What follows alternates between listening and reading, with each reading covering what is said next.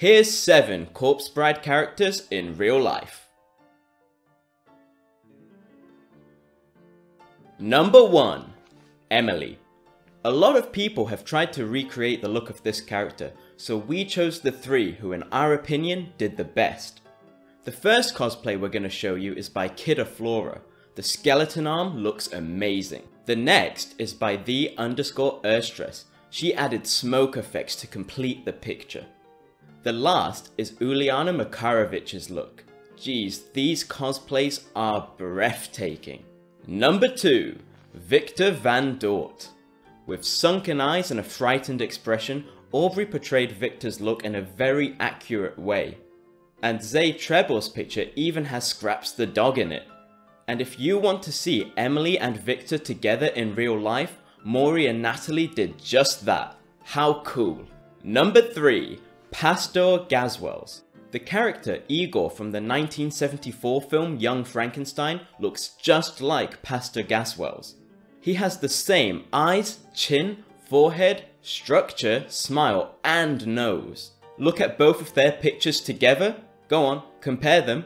You can barely tell the difference. Do you agree?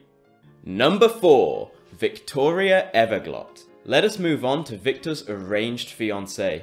Aru Kotsuno cosplayed Victoria and even took pictures inside a church.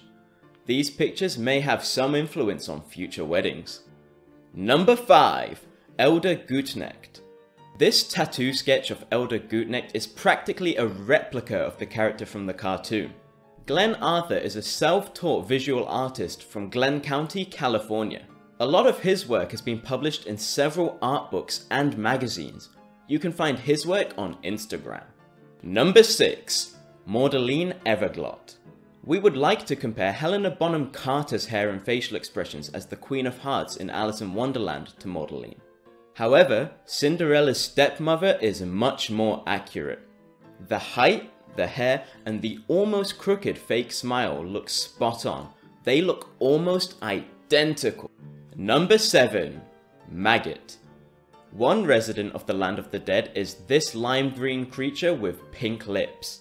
Eisen posted their cosplay of Maggot to DeviantArt, and the look is somewhere between adorable and disgusting. Courtney Little Makeup also posted a makeup look that was inspired by this character. Would you try recreating this character yourself? We have more videos just like this on the channel, so don't forget, Hit the like button and subscribe to Endless Awe for your endless source of obsession.